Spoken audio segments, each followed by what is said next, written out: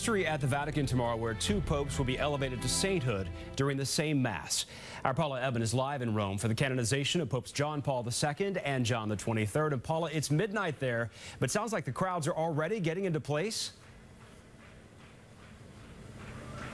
Bobby, thousands of young people are down in the streets just outside our location here in the shadow of the Dome of St. Peter's. They'll be spending a very chilly overnight on those cold cobblestone streets, but they are singing into the night, uh, enjoying the whole atmosphere of this incredible weekend in Rome. Massachusetts pilgrims that I spoke with said they felt they had to be here.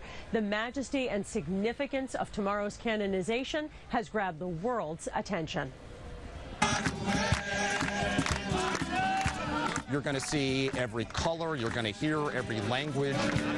You're going to hear every musical genre. It will all be in the air. It's unbelievable. They're coming from all over the world. This is one of the biggest events Rome has ever had. Just the sheer number of people, two to three million people. Under the watchful eyes of ancient apostles, religious, and soon to be saints, pilgrims from across the globe filled Rome to witness history.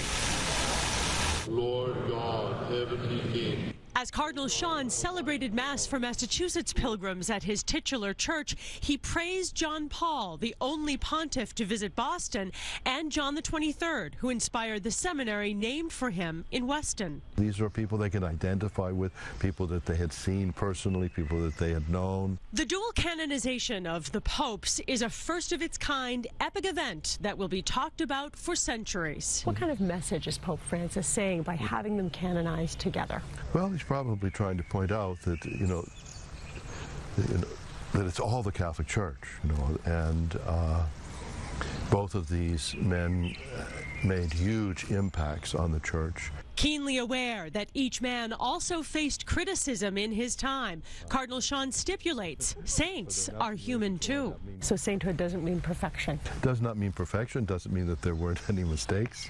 Uh, and it doesn't mean an endorsement of every decision that they made in their lifetime. Not perfect, but Vatican expert John Allen says the beloved popes of the 20th century will truly enter an exclusive realm.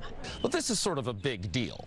You know, I mean, this is sort of like the Papal Hall of Fame that these two guys are being entered into. We'll much more from Paula Ebben tonight on WBZ News at 11.